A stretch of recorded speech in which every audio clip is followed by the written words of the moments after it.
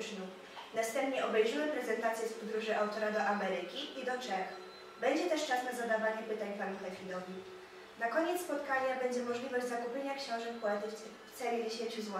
Można będzie również poprosić o autograf. A teraz oddajemy głos panu Gwidonowi Hefidowi.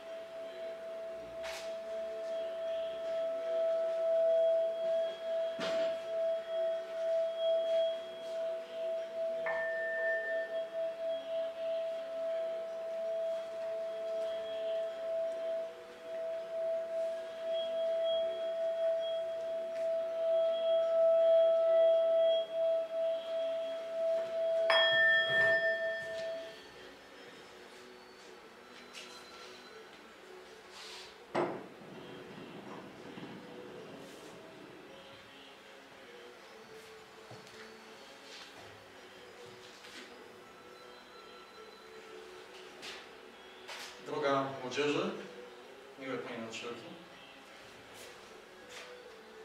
Jak było powiedziane na początku, przybyłem właśnie parę dni temu, tydzień cały.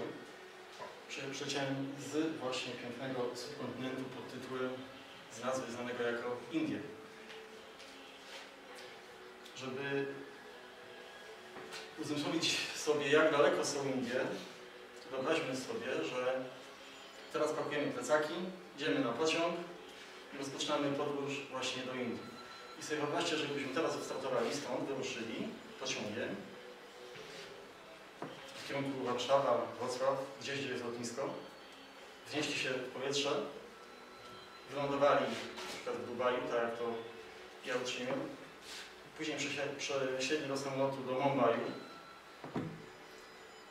tam wysiedli na lotnisku i tam ponownie wsiedli w pociąg już indyjski, to sobie wyobraźcie, że na miejsce docelowe, czyli w moim przypadku do Arambolu, taka mała miejscowość nadmorska nad Morzem Arabskim, do Arambolu byśmy dotarli dopiero jutro, późnym popołudniem.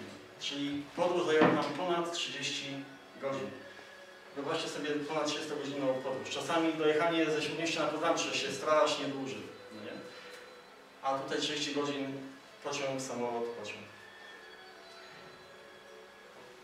odległość, ta właśnie wielka, sprawia, że panuje tam zupełnie inny klimat, zupełnie inna pogoda ma w tym momencie miejsce w Indiach niż jest to tutaj to, co widzimy za oknem. U nas śnieg, zawieja, ciapła, chlapa, zima, a tam kto zgadnie ile stopni? Ktoś może sprawdzał? 30, Blisko. Dodaj jeszcze. 35. 37, 8, a nawet 9. Blisko 40. To namaste, którym rozpocząłem spotkanie. Jest to, pewnie kojarzycie z różnych filmów o Indiach, o wschodzie. Jest to sposób, w jaki Hindusi witają się, w jaki się żegnają, w jaki przepraszają, w jaki dziękują. W tym prostym geście, w dłoniach złożonych na, tutaj, y, na klatce piersiowej, na sercu, na czakrze serca, mówiąc tamtym słownictwem, to jest właśnie symbol, symbol, który jest bardzo głęboki w swojej treści. Ten symbol oznacza, mówiąc bardzo prosto, szanuję to, co najczystsze w Tobie. Kłaniam się przed Bogiem w Tobie, ponieważ każdy z nas ma w sercu najczystszy, najpiękniejszy pierwiastek, jaki może być. Niektórzy nazywają to miłością, inni nazywają to Bogiem, ktoś jeszcze inny nazwie to pięknem. Nazw może być wiele, zawsze chodzi o to samo. To, co najlepsze mieszka tutaj w serduszku. Ludzie czasami przemierzają cały świat, szukają szczęścia, a ono jest właśnie w sercu. Hindusi dobrze o tym wiedzą i poprzez złożenie tych dłoni właśnie w ten sposób tutaj na wysokości serca powstaje bardzo fajna energia między dłońmi. I ta energia wzmacnia właśnie pole miłości, pole serca. Stąd to nie jest pusty gest, tylko to jest bardzo głęboka, treściwa symbolika. Ta symbolika ma bezpośrednie nawiązanie do znaku OM, który widzicie tutaj na mojej koszulce. Koszulka prosto z Indii, ze znakiem właśnie OM. Ten znak OM też jest tutaj na tej prozorce. Jeśli ktoś ma dobry wzrok, to może dostrzeże taki właśnie znaczek, tak samo jak na, jak na koszulce. Też y, takie znaki właśnie tutaj na przykład o, macie w tej mi- misie. Jest w środku wytłoczony właśnie oddany znak OM. To jest bardzo, bardzo ważne, bo to wszystko y, nawiązuje do tradycji, do wielotysięcznej e, wielu, trwającej wiele tysięcy lat tradycji. Tradycji właśnie e, opartej o Vedy, o Upanishady, czyli o takie święte filozoficzne księgi Indii. I tam właśnie od zawsze spotykamy ten właśnie znaczek OM. Znaczek OM, który oznacza to, co najczystsze, to, co jest najlepsze w nas. Taka mantra, no może słyszeliście tutaj w tle leci, mantra, jedna z właśnie mantr y, y, bardziej znanych, jeśli chodzi o, o Indię, o Tybet, y, o Nepal. Om nami padmy hum. To jest taka bardzo uruchomiona melodia. I zaczyna się właśnie z głoską om. om. Bo to jest święty, święte brzmienie. Om to jest też symbol słońca, czyli światłości, symbol tego, co jest niezbędne, żeby żyć. Kochani, takie bardzo ogólne, ogólne, yy, ogólne informacje, jeśli chodzi o Indię. W Indiach yy, wiemy, gdzie są Indie, prawda? Wiemy, że jest to olbrzymi kraj. Yy, wiemy, że jest to yy, kraj kilkukrotnie większy od Polski. W Indiach funkcjonują dwa języki. Głównie, głównie się mówi językiem hin, hindu, hindi, przepraszam, hindi. Ale y, również y, za rządowy jest uznawany język angielski. Z czego angielskim tak naprawdę tylko część populacji y, się posługuje. Większość mówi po właśnie w, języku hindi. E, Jeśli chodzi o mm, stolicę, to każdy wie, że Indie to jest jaka stolica? Delhi. Bardzo dobrze. A kto wie, jak dużo jest Delhi? Ile ma mieszkańców? 300 tysięcy? Nie, 11 milionów mieszkańców. Jest to największe miasto y, w Indiach, właśnie jeśli chodzi o populację. Dorównuje mu Mumbai. Jeśli chodzi o ludność w Indiach, jest to jeden z najliczniejszych krajów świata. W Indiach mieszka miliard 200 milionów ludzi. To jest bardzo, bardzo dużo. Jest to około mm, jednego, e, około jednej piątej się szacuje jednej szóstej populacji całego globu. E, Indie dzielą się na 29 stanów, można powiedzieć takich województw w naszym, e, w naszym wydaniu. I te 29 stanów ma często powierzchnię zbliżoną do na przykład do, do, do, do naszych kilku województw. Są olbrzymie przestrzenie. Każdy ze stanów ma swoją stolicę, tak samo jak Dolny Śląsk ma Wrocław, tak samo Goła właśnie, gdzie ja y, mieszkałem, przebywałem, ma swoją stolicę i tą stolicą Goła jest Pędzin. To jest miejsc, miejscowość wielkości mniej więcej Świdnicy, można powiedzieć.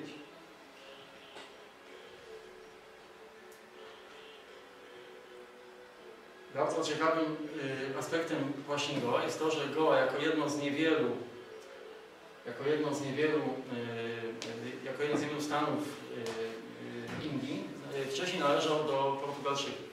W przeciwieństwie do reszty kraju, gdzie w większości rządzili Anglicy, bardzo mocno swo- swoją obecność oznaczając, o tyle właśnie mm, na Goa rządzili Portugalczycy. Stąd też zobaczycie za chwilę ślady ich tam bytności w postaci y, katolickich świątyń. Y,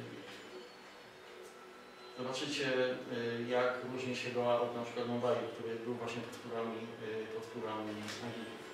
Kochani, więc po kolei. Tutaj mamy y, Indię z, z lotu ptaka. Jeśli ktoś z Was pamięta taki film Slumdog, albo Tak, książkę Slumdog, to tam są opisy bardzo czasami y, strasznych scen, jak, jak tam w tych Indiach to funkcjonuje.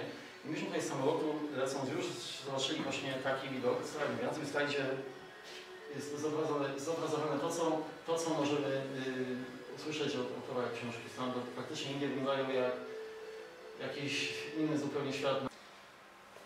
To jest lotnisko. Tak wyglądają taksówki w Indiach, y, w Mumbai dokładnie, gdzie lądowaliśmy. Było nas 8 osób, taką grupą, żeśmy tam polecieli. I tutaj macie przykład, jak można upchać y, cztery osoby do taksówki wielkości Seicento, tudzież y, Cinquecento, tudzież innego małego autka, plus jeszcze duże bagaże. Yy, Myśli są mistrzami w upychaniu y, dużej ilości rzeczy i ludzi y, w małe kubatowe przestrzenie. Tutaj zobaczcie to jeszcze na przykładzie Wikszy.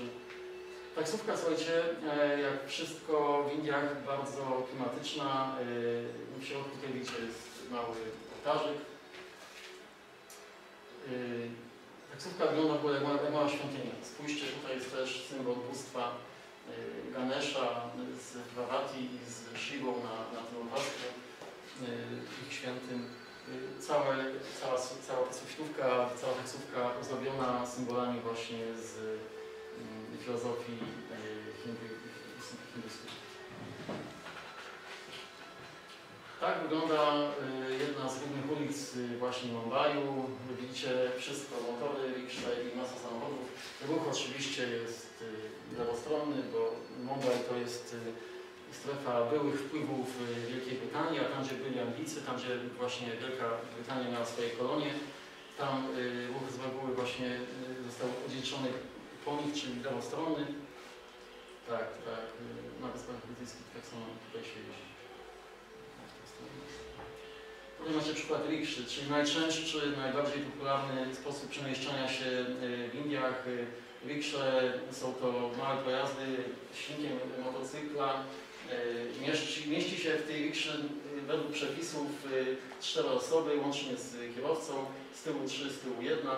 To jest teoretycznie, praktycznie widziałem po 7-8 osób w takiej rikszy.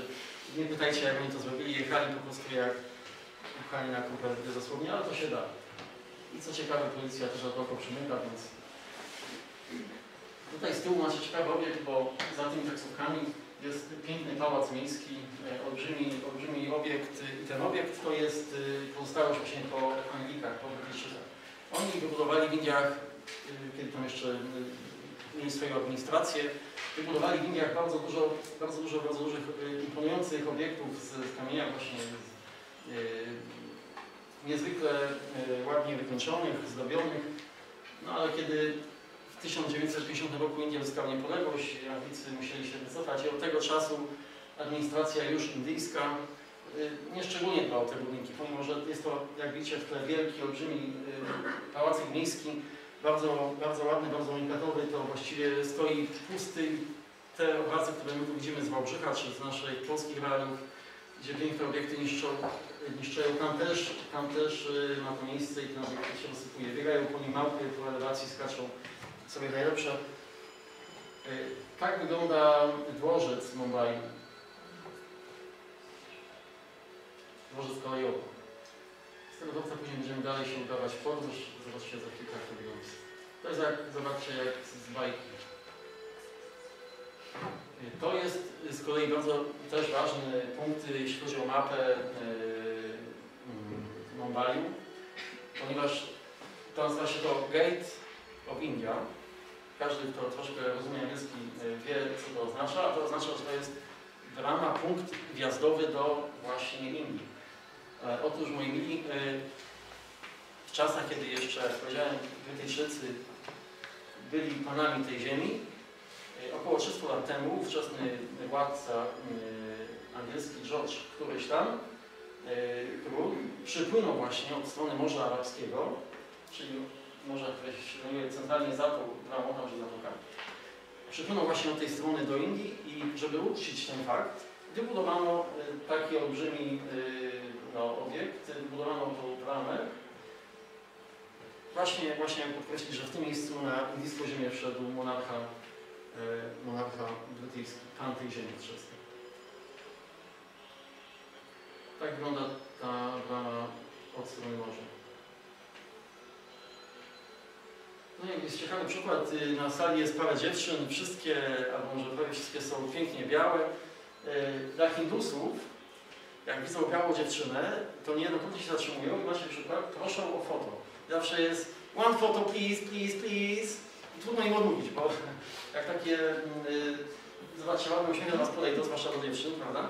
No to dziewczyny wtedy wynikają, wy- wynikają i, zgadzają się. I tu oczywiście jest przykład, nasza koleżanka też im nie mogła odmówić. Y, I jak zaczęła z tymi dwoma, y, im tutaj, to zaraz oczywiście inni też się przyłączy- przyłączyli, widząc, że, że ona jest chętna do zdjęć. No i po chwili już musieliśmy się, musieliśmy się opędzać od tych imbusów, bo było ich tak dużo, no, żebyśmy tam stali chyba do końca dnia, ale nie o to chodziło. Y, Dla nich biały człowiek to jest wielka atrakcja. To, jest, to wynika z kolei z takiego mm, mitu, który u Hindusów ma, y, ma mm, bardzo odległą historię. Mit ten mówi, że przybędzie w przyszłości do Indii biały człowiek, który pomoże Hindusom odzyskać ich wiarę, ich y, wiedzę, mądrość. Biały człowiek, który będzie dla nich takim y, wysłannikiem Boga i, i pomoże im wrócić na ich właściwe tory. I oni jakoś tak podświadomie e, w każdym białym chyba doszukują się tego przybysza, który będzie tym y, wysłannikiem sił wyższych. Stąd, stąd y, wielki szacunek, wielki respekt dla białych, bardzo chętnie nam pomagają. Myśmy nieraz się z początku- byliśmy zdziwieni byliśmy troszkę nawet przestraszeni. Jak co różne zaczepiali się, pytali gdzie idziemy, czy czegoś nam potrzeba, czy mogą nam jakoś pomóc. Dosłownie, nie było to z ciekawości takiej dzikiej, bezczelnej, krwinej, tylko to wypływało z ich chęci, troski ręcia się nami, udzielania nam pomocy, dania wskazówek. No i później to się nawet tak skończyło, że kiedy jechaliśmy pociągiem, to już tak biegnę do przodu troszkę, mm, kiedy jechaliśmy pociągiem właśnie do, y, tak, tutaj właśnie, o, y, do mm, właśnie do Amangolu z Mumbai. Podróż tym pociągiem trwała według planu, według rozkładu jazdy 8 godzin miała trwać. Praktycznie trwała y, ponad 10 godzin, bo o 1-2 godziny miał opóźnienia pociąg. Y, I w tym pociągu była taka sytuacja, że mieliśmy wysiąść na stacji jakiejś tam, ale Hindusi z nami jadący tak się przejęli naszym losem, że oczywiście nas przekonali, że mamy wysiąść o stację dalej, bo będzie lepiej dla nas. No i myśmy ich posłuchali, bo oni z takim przekonaniem o tym mówili i tak bardzo widać było, na tym zależało, że poszliśmy za ich radą. się okazało później, no, że niestety nas y, troszkę w krzaki wyprowadzili, bo przez to musieliśmy y, troszkę więcej kilometrów zrobić wracając do miejsca naszego docelowego. Ale, ale to pokazuje, jak oni się starają. No nie zawsze te starania y, wychodzą do końca tak, jak miały wyjść, ale intencja jest piękna. I tutaj zobaczcie, jest przykład pociągu indyjskiego. W ogóle z tymi pociągami jest taka jeszcze fajna historia, że żeby pojechać indyjskim pociągiem, to trzeba bilet kupować najlepiej przez internet z miesięcznym, a nawet dwumiesięcznym wyprzedzeniem. Ponieważ, mimo że jest dużo pociągów w Indiach, cała infrastruktura drogowa jest bardzo fajnie rozwinięta, można dojechać właściwie w każdą część państwa, to tyle jest tylu chętnych, jest takie zainteresowanie, że po prostu nie ma miejsc na w pociągu. I, stąd właśnie takie dwumiesięczne y, wyprzedzenie przy zakupie y, biletu. Myśmy tutaj dzięki naszemu koledze, przynajmniej w Indiach, takie bilety nabyli tam miesiące wcześniej. No i żeśmy wsiedli do pociągu. Pociąg jest taki długi, że szliśmy 10 minut wzdłuż pociągu, żeby dojść do naszego wagonu, y, żeby znaleźć nasze miejsca y, zarezerwowane. No po 10 minut iść, słuchajcie, wzdłuż pociągu peronem, to naprawdę robi wrażenie. Wyobraźcie sobie, jak jest na poziom długi, ile ma wagonów, byśmy nie, nie liczyli, ale ich było ich naprawdę bardzo dużo. I kiedy żeśmy już wsiedli do wagonu, widząc, że już jest godzina objazdu, stwierdziliśmy, że dalej pójdziemy już wewnątrz pociągu, żeby nam nie uciekł po prostu. Gdyśmy weszli do pierwszego, lepszego wagonu, to była ta najniższa klasa. I w tej najniższej klasie yy, mniej więcej tak wyglądają właśnie yy, wagony. To są wagony sypialne najniższej klasy. Yy, nie wiem, czy to na tych zdjęciach widać, ale po prostu byli, byliśmy yy, lekko szokowani, yy, jaki jest standard tego. Zobaczcie, to po prostu ciasno, brudno, duszno, wszystko w takiej yy, podzawiałej stali, gdzieś tam o marzącej farbie, yy, jakaś butelka wystawiona po kimś, kto wcześniej to tym pociągiem podróżował, widać, że no, dawno nie był sprzątany. I tylko się cieszyliśmy tym, że to jeszcze nie nasz wagon, że nasz będzie gdzieś dalej. Cieszyliśmy, że nasz będzie troszkę lepszej klasy. No i tak też się stało. Gdyśmy już e, się przemieścili dalej, to się okazało, że nasz wagon faktycznie był lepszej trochę klasy. I tutaj jest on z zewnątrz pokazany. Co stację, żeśmy z tego wagonu, za chwilę będziemy w środku też więcej zdjęć, żeśmy co stację z tego pociągu wychodzili po to, żeby móc skorzystać z ciepłego powietrza niebieskiego, bo wagony te specjalnie dla obcokrajowców są klimatyzowane. Są tak dragońsko i mocno klimatyzowane, że a że jest w nich tak zimno, że trzeba siedzieć w plecach dosłownie. Dlatego co stację woziliśmy na zewnątrz, żeby się ogrzać, bo na zewnątrz było już 30 parę stopni, więc... I tutaj macie przykład, yy, to nie jest pasażer, ale jest to coś więcej niż pasażer, to jest święta krowa. Zaczynamy, tak, tutaj tu spotykamy prawdziwe Indie. W Indiach święta krowa jest obecna wszędzie i na każdym kroku. Święte krowy są na stacji, są na mieście. Nie ma miejsca właściwie, gdzie nie ma świętych. Pociąg y, ten właśnie indyjski ma, jak widzicie, naturalną klimatyzację w postaci non-stop otwartych drzwi. Y, Huśta w obie strony, więc przechodzenie obok tego jest dragońsko niebezpieczne, bo można po prostu wypaść z tego pociągu, no i nawet nie zauważyć. Y, W indyjskim pociągu mamy ciekawostkę, bo mamy dwa rodzaje toalet. To jest toilet Indian Style. Może... O, tak jest więcej widać. Mamy Mamy Indian Style, y, czyli toaleta indyjska. Y, Tak to brzmi po y, w hindu, jeśli ktoś chciał sobie przeczytać po hindu, może po angielsku.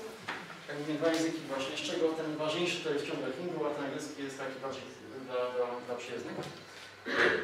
I toaleta y, zachodnia, to wiadomo jak, to tak u nas, natomiast ta indyjska wygląda w ten sposób. I to jest ciekawy motyw, bo one są bardzo czyste, pozorom, y, pachnące.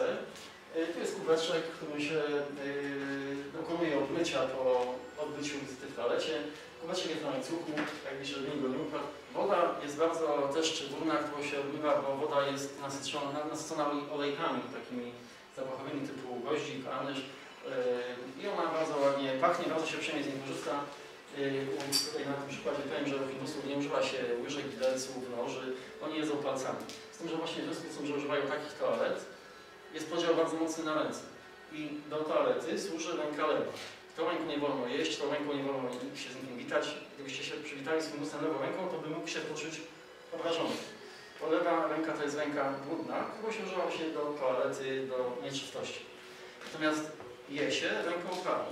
To jest ręka czysta, jest ręka, którą się wita, którą się obejmuje, klepie przyjaciół. Yy, To jest takie wprowadzenie, gdybyście lecieli do Indii, to, to dobrze pamiętać. W każdym poci- pociągu, widzicie, jest kuchnia. To jest kuchnia w pociągu i yy, ta trwająca 8, 10, a czasami więcej godzin podróż jest yy, umilona bardzo smakowitym jedzeniem. Oczywiście hinduskim, bardzo mocno przyprawionym, intensywnie pachnącym i smakowitym niezwykle. I to jedzenie w takiej właśnie kuchni się y, gotuje. Tutaj panowie Hindusi y, właśnie przyrządzają bułeczki z bardzo fajną, y, bardzo ostrą pastą, taką pomidorowo-cebulowo-paprykową. Bardzo paląca, bardzo pyszna, smaczna pasta, która mniej więcej tak wygląda w kanapkach. Już bardzo apetyczne, dużo lepsze niż nasze jakieś sandwicze z fast foodu. Bez mięsa oczywiście, bo Hindusi w większości, moi kochani, Hindusi w większości są wegetarianami. Ten właśnie ponad miliardowy naród w większości nie je mięsa, są to wegetarianie, często weganie. I jak widzicie, tak, tak się żywiąc, y, tak i podobnie bardzo fajnie funkcjonują. y, Żyją zdrowo, długo, szczęśliwie. Tutaj y, w tym pociągu, w kuchni, jak wszędzie w innych miejscach w jechać w taksówce, mówiłem o tym, tak samo w kuchni tej tutaj w pociągu, w bankach, w sklepach, wszędzie są ołtarzyki. Ołtarzyki są zdobione, są właśnie mieszane takimi różnymi motywami z kwiatów, y, wincami, czy też y, po prostu obstane są kwiatami. To jest y, y, znak, że się dba o ten ołtarzyk. Kwiaty, jak wiecie, szybko więdą, więc muszą być często zmieniane, żeby y, no, widać było, że ktoś na ołtarzyk dba, że ktoś to bóstwo pielęgnuje. W Indiach jest ponad 3000 bóstw. Jest jeden Brahman, który jest najważniejszym Bogiem. Kiedyś był dużo bardziej czczony i wielbiony niż teraz. W tej chwili jakby on się rozszczepił na poszczególne pomniejsze bóstwa, jak tutaj na przykład yy, ta Trójca. Yy, I w tej chwili no, Brahman jakby jest czczony i występuje w ponad 3000 yy, yy, odmian bóstw. Najbardziej znanym z awatarów, z aspektów właśnie Brahmana, kto wie, ktoś kojarzy? Ktoś może coś czytał na Wikipedii? Kochani, Brahman najczęściej występuje w dwóch aspektach. Shiva i Vishnu. To są tak jakby dwa takie najbardziej e, znane aspekty i, i te aspekty później się dzielą na dalsze. Później jest Krishna, później jest paru, paru innych. To jest jakby taka piramida struktura. Szefem jest właśnie Brahman, a właśnie e, Vishnu i, e, i Shiva są zaraz pod nim. I później są już dalsze bóstwa, ponad 3000. Tutaj na tym obrazku widzicie w środku to jest Ganesha. Y, On później będzie jeszcze dalej pokazany bardziej, bardziej. Ganesha jest y, bóstwem szczęścia, bóstwem dobrobytu. Y, Jest to bardzo ciekawa historia z Ganeshą związana. Ganesha to jest chłopiec z głową słonia. Ktoś zapyta czemu? Jak to możliwe, że chłopiec ma głowę słonia, tak? Słoniki przynoszą szczęście, a niewinność dziecka też jest z tym połączona. to coś w tym Bardzo świetna y, tak, y, dedukcja, doskonale. Y, a czemu tak jest? Bo to właśnie, to właśnie jest to, co mówisz, to jest nawiązanie do legendy o właśnie Ganeszy.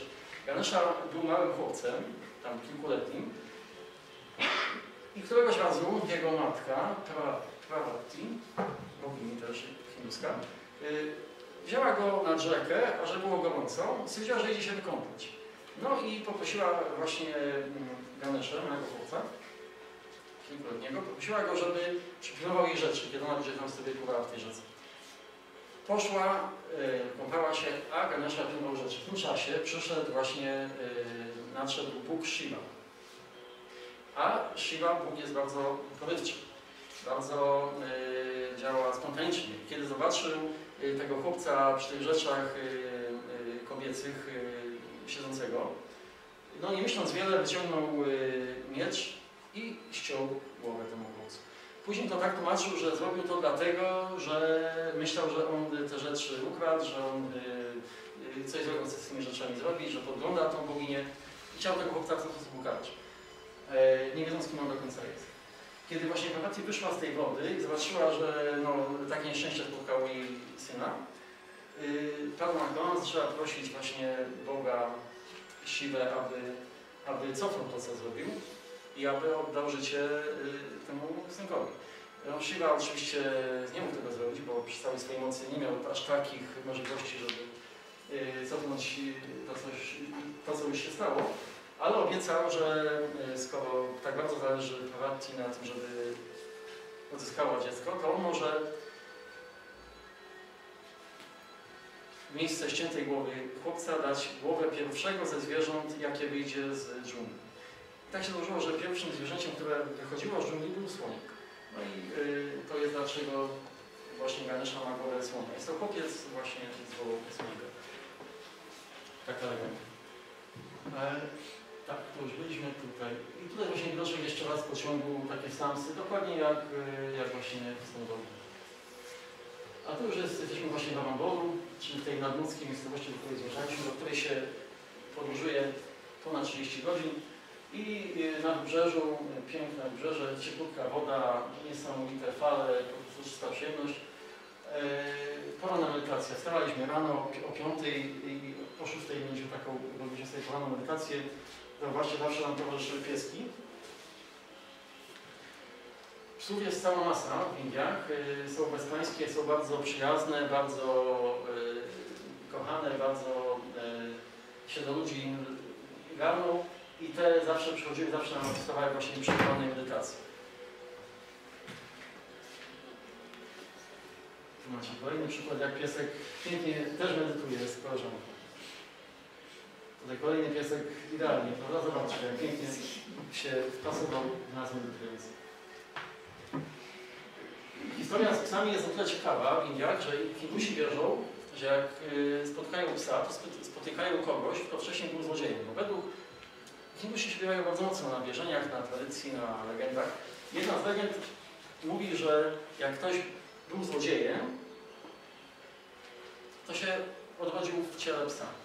Więc z jednej strony lubią te pieski, bo jakby współczują im tego nieszczęścia, że taki je spotkał.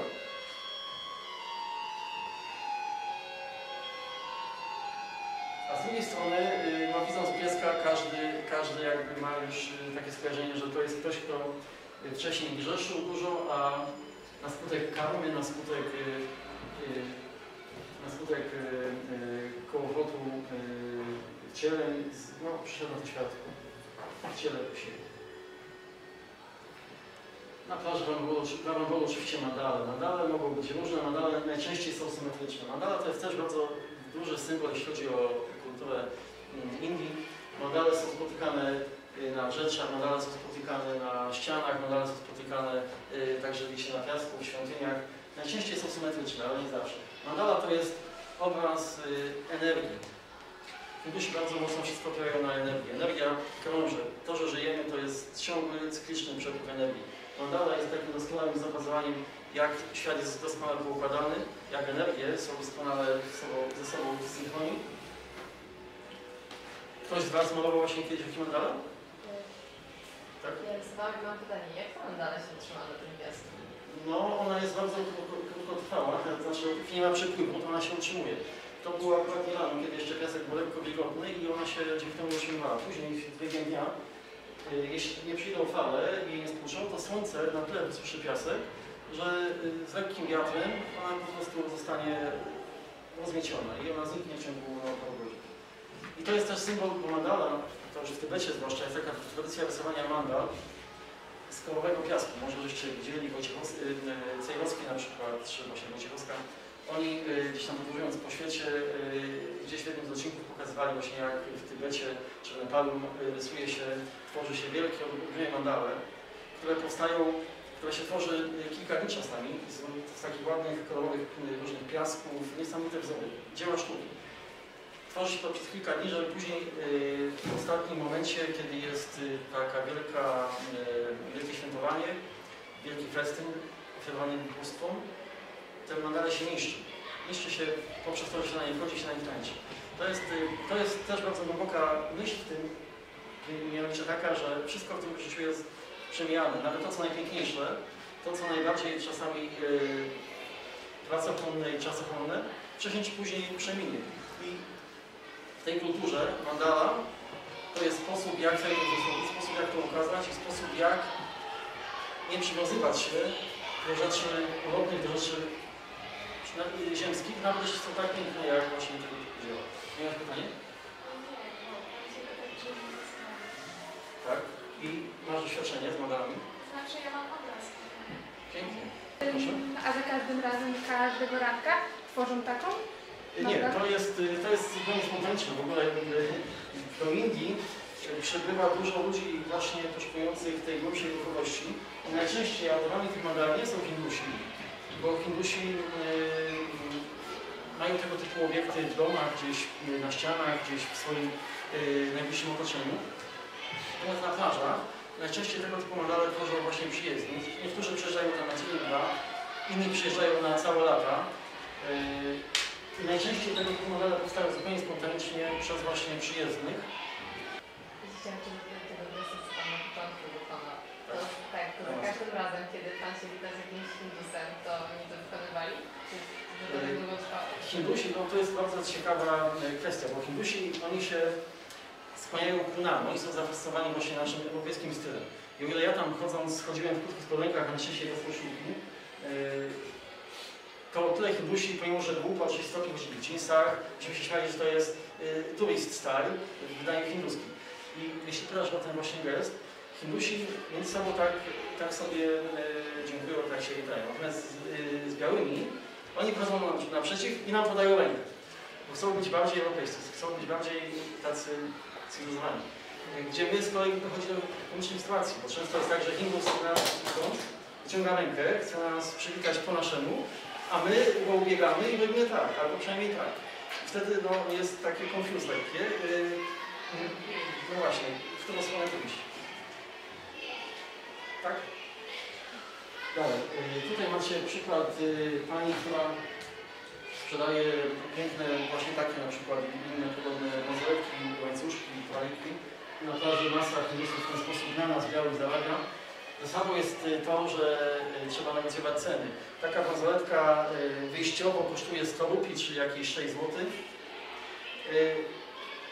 Ale można zbić cenę nawet o piątą i zapłacić 60 groszy, nie? Z 6 zł.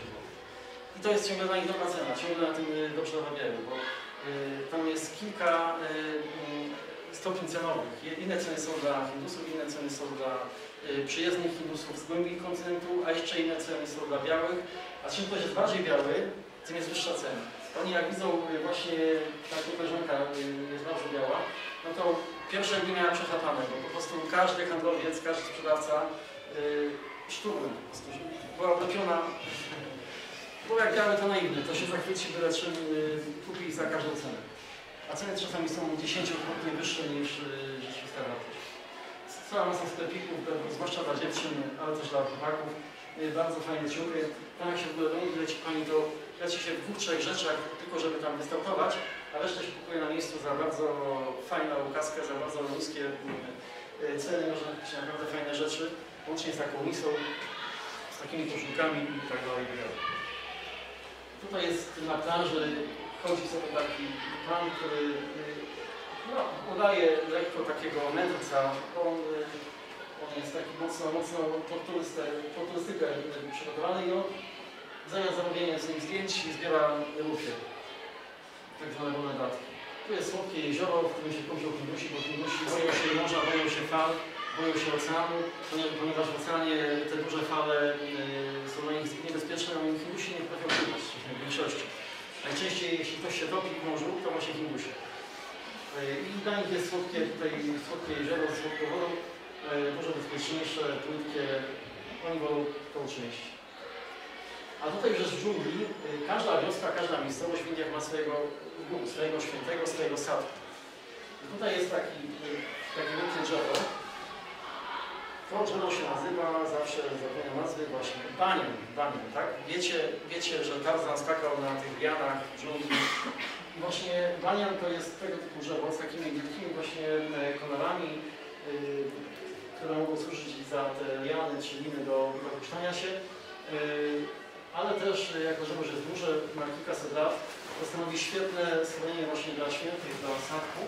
I tu jest ten przykład, siedzi sobie taki pan właśnie w pomarańczowej szacie. Szata pomarańczowa to jest jak symbol czystości i oddania się e, praktyce duchowej. On tutaj mieszka, on tu ma materac, on tu ma mały ołtarzyk i on sobie właśnie tak funkcjonuje. Do niego przychodzą e, osoby, które chcą z nim posiedzieć w kręgu, tutaj na środku ognisko. E, wieczorem, kiedy już jest chłodno, Y, kiedy zlatują się komary, to to ognisko jest bardzo przydatne, bo komary automatycznie je dogonią, spalają się, nie kąsają aż tak mocno, a, a też dają ci, te, to też daje ciepło e, w nocy. Yy, zgadnijcie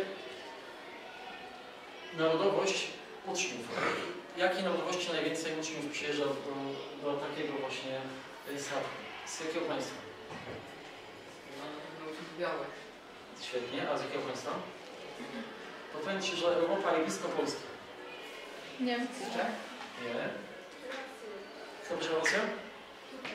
No, dokładnie tak. Yy, najwięcej jest tam Rosjan. Rosjanie gotują temu statku, yy, sprzątają tam wokół niego, yy, przyjmują gości. Każdy, kto przychodzi, to jest właśnie na przywitanie oddzielany fajką z haszyszem. Także na przywitanie takiego sztaka się dostaje z haszem. Lekka dawka, po której się lekko pływa, ale ciągle się jest jeszcze świadom co się dzieje. I można sobie posiedzieć, oczywiście nie jest to konieczne, ale kto chce, to może. E, I po takim przywitaniu no, można pomedytować właśnie w tym kręgu. ten skarbnik jest o tyle postępowy, że jak zauważyłem, poza, on osobiście ja nie widziałem, żeby palił tą fajkę z, z haszem, ale widziałem, że palił rosyjskie papierosy. Jest bardzo postępowy. Później zobaczyłem, że je łyżką zamiast palcami, co już troszkę było dla mnie takie no, naciągane. A na koniec usłyszałem, że rozmawia z tymi e, swoimi e, uczniami właśnie po rosyjsku. Zamiast ich uczyć języka hindu, hindi, to on się uczy języka rosyjskiego. Więc jak widzicie, ten świat indyjski troszkę się zmienia. Jednak polega wpływowi gości, którzy tam przyjeżdżają.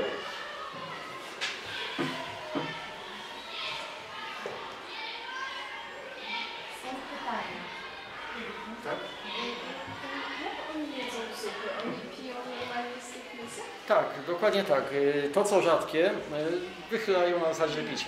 Natomiast to co gęste, tutaj taki jest sposób, używa się, uży, używa się y, tych nigdy, nigdy wskazujących palców, bo to są palce nieczyste, albo do, do grzebania w nosie, albo gdzieś indziej, stąd się nie używa palców wskazujących, tak?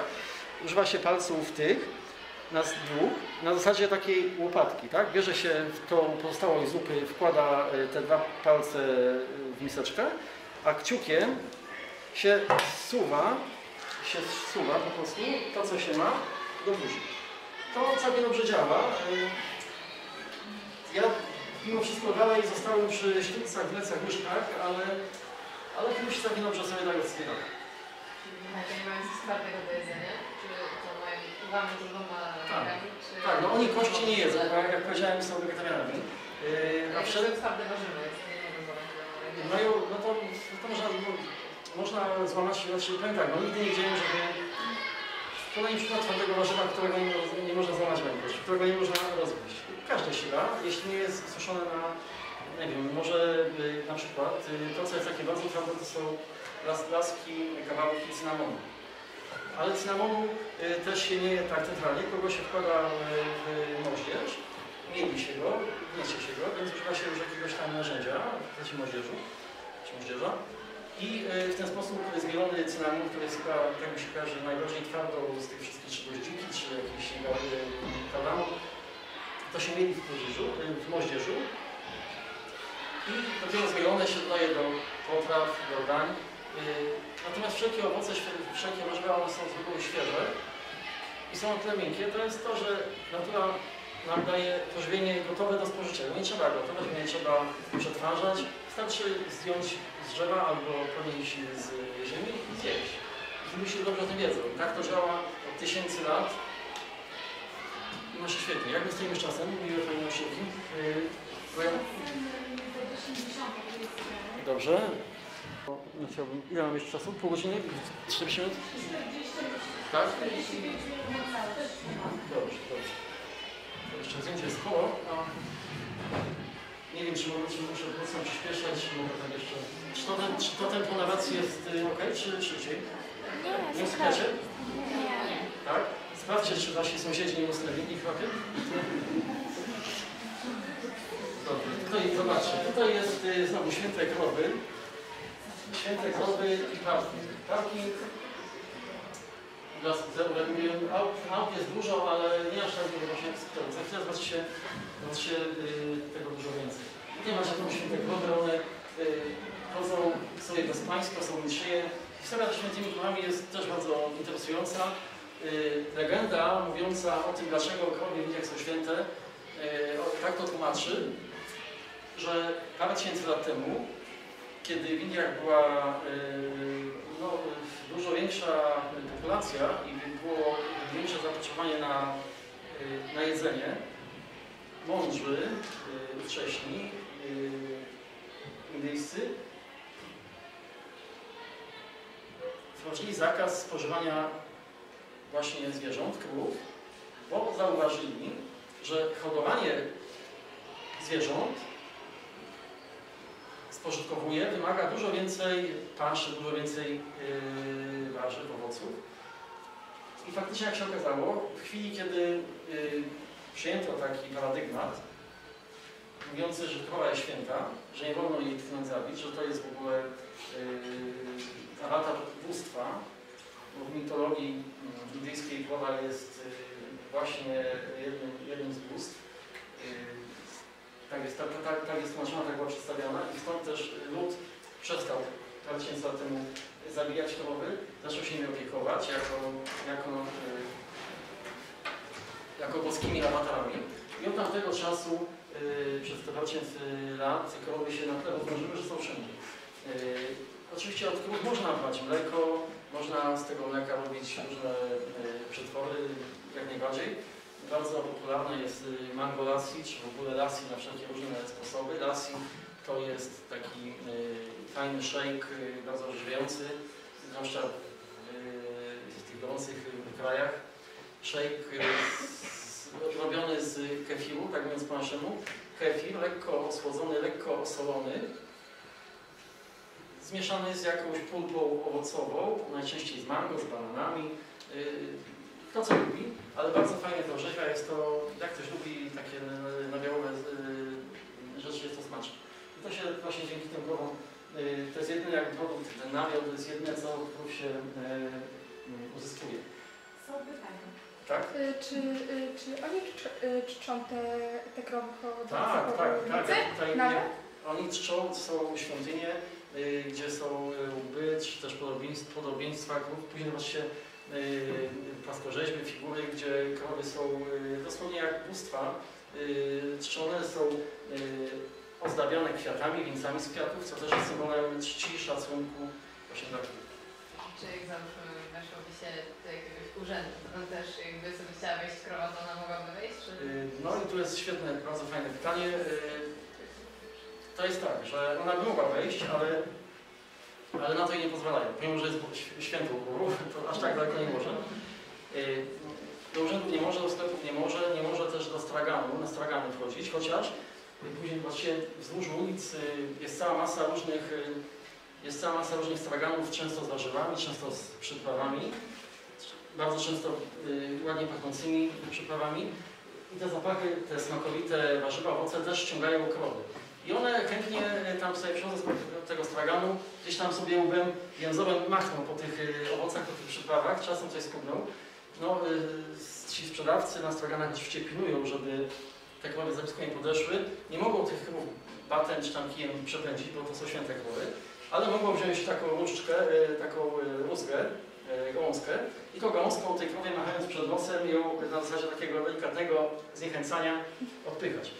Y, No, kiedy już nie chce się ruszyć, to ją biorą we dwóch, we trzech i po prostu ją przesuwają. To jakoś taka jest radykalna metoda. E, Czy tam się nie chce ruszyć. Ale generalnie, generalnie jest sama masa. Oczywiście nie wszystkie krowy są bezpańskie, tak jak te tutaj. Jest dużo krów, y, które są własnością, y, tak? Później? jest, że na przykład sędziowie e, wierzący chodzą do kościoła, tak? I tam oni też mają jakiś konkretny dzień, jakiś coś... Całą, całą masę mają świąt y, przeróżnych, y, y, bo jak powiedziałem, tam jest ponad 300, ponad 3000 bóstw i właściwie każdy region ma swoje bóstwa, każda rodzina ma y, swoje jakieś y, y, bóstwa świętości, swoje ołtarzyki. Y, I każde z tych bóstw jakby ma inny dzień w roku zarezerwowany do odczczenia. Dni w roku jest tylko 365, czy jakoś tak, różnie tam y, liczyć można. Natomiast bóstw jest ponad 3000, więc y, jak łatwo z tego wnioskować, y, niektóre bóstwa wręcz konkurują między sobą o te dni w roku.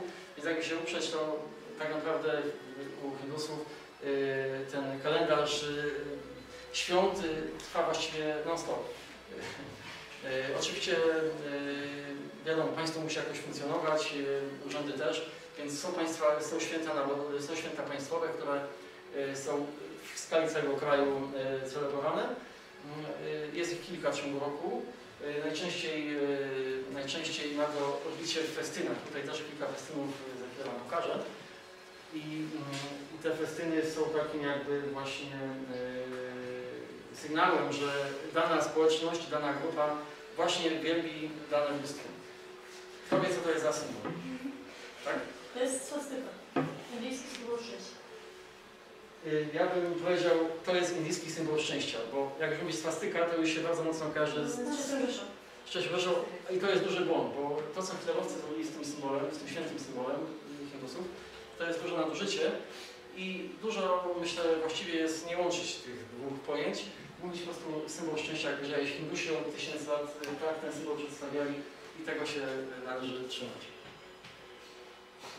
To jest taka właśnie przedwożna mała restauracja, gdzie żeśmy pierwszego dnia skorzystali z ich oferty i skosztowaliśmy, to jest akurat masala dosa, tak się nazywa to danie. Masala dosa jest to naleśnik, bardzo y, smaczne, fajne ciasto, w środku y, warzywa, najczęściej ziemniaki z y, bardzo fajnym takim miksem y, przypraw na bazie anyszków. Bardzo smaczne danie, do tego bardzo ostry sos y, soszywicy i troszkę y. A jak jest jedna z gościni, to czy w restauracji podają, jakby Pan poprosił, to mogliby Pan podać nóż widać, czy. Oni podają, tak, tabliary podają. Y, To, to już w standardzie. Y, Oni, jak powiedziałem, wychodzą nam naprzeciw y, także w tym aspekcie. Natomiast często jest tak, że po prostu sobie nóż leży obok, a ludzie jedzą palcami także biali, najczęściej biali, bo Hindusi, z drugiej strony właśnie chcą iść oni czasami nawet chyba częściej niż biali używają noży widelcy. Natomiast y, biali z kolei chcą pokazać, że są w mediach i muszą jeść palcami. To jest z kolei inny przykład y, warzywa kary, bardzo ostro doprawione, bardzo smaczne, niesamowicie pachnące danie. Tak wygląda ulica w, właśnie w Rambolu, y, bardzo zapchana, wszystko, piesi, motory, riksza, samochody, autobus.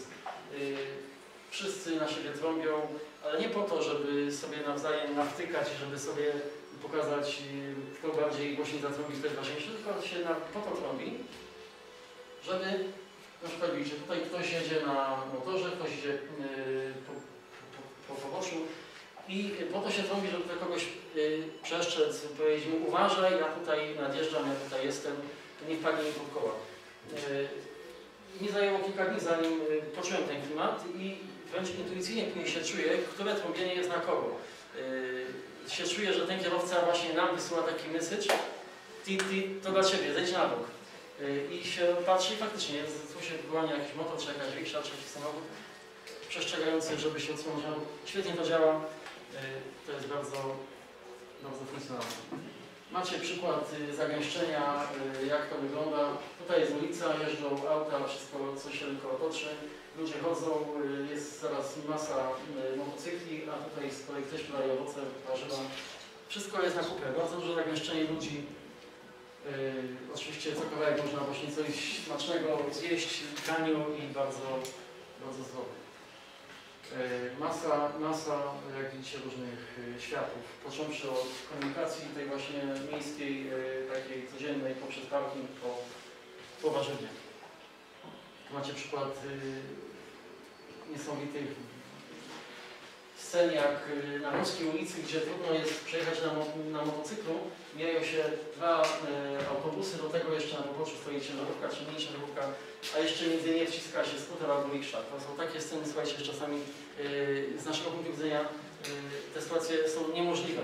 Myśmy jak wyjechaliśmy pierwszy właśnie raz z tego pociągu, gdzie wysiedliśmy już blisko Rambonu, jechaliśmy taksówką właśnie do Rambonu, to koleżanki po prostu piszczały w samochodzie, jak kierowca tej taksówki y, gdzieś właśnie lawirował między autobusami, między rikszami y, na trzeciego, na czwartego, czy tam gdzieś tam się po prostu ładował na wąskich y, drogach.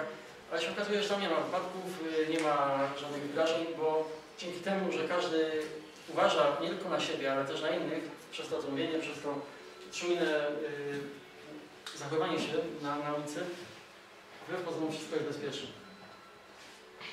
Tutaj macie przykład właśnie, y, jak y, się funkcjonuje w Indiach. W Indiach, w związku z tym, że pełno jest kurzu, brudu, y, wszędzie, bo jest non-stop y, ten kurz w powietrzu, y, ludzie strasznie plują, charają, melają, mówiąc tak kolokwialnie, y, idąc z tymi sandałami, czy klapkami, czy butami po ulicy, człowiek depcze po tych różnych y, ślinach i innych wydzielinach y, niezbyt fajnych.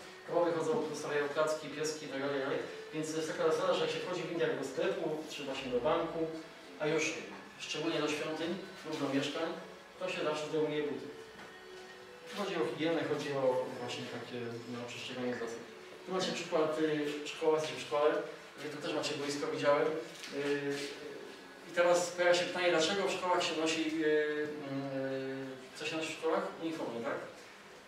Tutaj też dzieci noszą uniformy. Zobaczcie, że te uniformy są w kolorze ziemi.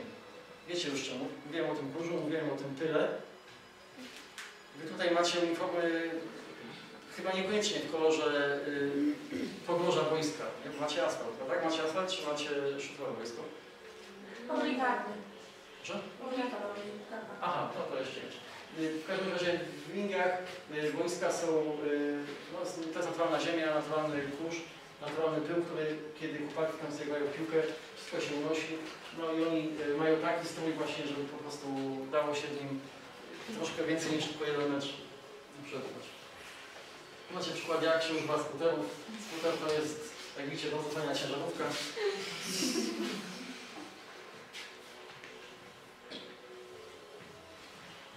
A kto zgadnie, co to jest? Tak? Nie? Zgaduj dalej. Kto, kto powiedział kokos? Tak, to jest, kochani, zielony kokos. Właściwie kokos, y, świeży kokos. Należy powiedzieć, to jest świeży kokos. Y, ten kokos y, oczywiście się obiera, później, y, zresztą widzieliście, tam na początku był taki gdzie ja trzymam na kokosy. Ścina się go i w środku jest ta brązowa taka już kulka, którą znamy z marketów, z polskich choćby. I w środku y, tą brązową kulkę się rozcina, tu się wkłada słomkę i się y, sz- szklanka, około może półtora szklanki pysznego soku kokosowego. Jest po prostu rewelacyjny. To, co pijemy w puszkach, tutaj tak zwane mleczko kokosowe, nie ma nic wspólnego z tym, co jest w tym kokosie. To jest po prostu nektar rozkoszy. To jest tak pyszne, słuchajcie, że myśmy dziennie po kilka takich wypijali. Co ciekawe, wypijecie takiego jednego kokosa, nie czujecie potrzeby jedzenia. To jest tak syte, to jest tak, to jest tak pożywne. Tego, kokosa wypijecie, to idziecie do pana czy do pani, którzy wam tego kokosa sprzedali. Prosicie, please open it, tak? Pani kładzie na takim wielkim y, ten kokos, bierze taki długi tasak, zamachuje się i rozłupuje tego kokosa na połowę, a w środku jest taka warstwa pół centymetra, czasem nieco więcej, czasem troszkę mniej, takiego pysznego, miękkiego, delikatnego miąższu kokosowego. Te wielkie kokosowe, które my znamy tutaj z marketów, które są suche i zapychające i smakują różnie, to jest dalekie od kokosa. To jakbyście skosztowali, to po prostu jest niebo, niebo w buzi, tak? A właśnie, tak wygląda kokos już po rozcięciu i tak się go pije. Oczywiście warzywniaki, bardzo dużo różnych owoców. Kto zgadnie, co to jest? Tak też to nazywaliśmy i przez jakiś czas myśleliśmy, że to są ziemniaki. Aż któregoś razu nam jeden z sprzedawców y, wziął takiego ziemniaka, rozłamał go, byliśmy zdziwieni, że on tak lekko ziemniaki rozłamuje i nam dał tego ziemniaka. Chyba widział, że jesteśmy biali, więc y, domyślił się, że nie, nie kumamy świadczy, co to jest. Więc nam tego ziemniaka, tak do, do, nazywaliśmy y, ten owoc, pomimo, że on się nazywa, po prostu nazywa się to ciku, to jest ciku, To jest właśnie owoc w smaku, przypomina coś pomiędzy y, śliwką a gruszką, bardzo słodkie, pyszne. Tak więc, no, to jest owoc, którego w Polsce czy w Europie nigdy, nigdzie nie widziałem, a tam on jest bardzo popularny, bardzo smaczny. Tak mieszkają Hindusi. Z tyłu macie jakiś już domek, w którym to jest stały, stały schemat. Myśmy mieszkali w apartamencie z zachodnią toaletą, z prysznicem, super. Natomiast Hindusi mieszkają w czymś takim. Więcej do szczęścia nie potrzebują. Z tyłu jest dom, w którym wynajmują właśnie pokoje dla ludzi przyjeżdżających, natomiast sami wolą, takie warunki. Co jest ciekawe, y, w tych domach tam jest podłoga, nie wiem czy to widać, ona jest y, wyłożona, kto zgadnie czym. Podpowiem, że to ma związek z skałami świętymi. And Crew. Bardzo dobrze, dokładnie tak. Ta podłoga jest wyłożona y, łajnem krów y, zmieszanym z odrobiną moczu krowiego. Z tego taka powstaje papka, coś na kształt naszego betonu. I tym się właśnie y, wykłada tą podłogę, czy też to się w podłodze. Ale nie tylko w podłodze, to się też y, nakłada na ściany, w, no od wewnątrz, także od zewnątrz. To bardzo, słuchajcie, dobrze chroni przed upałami.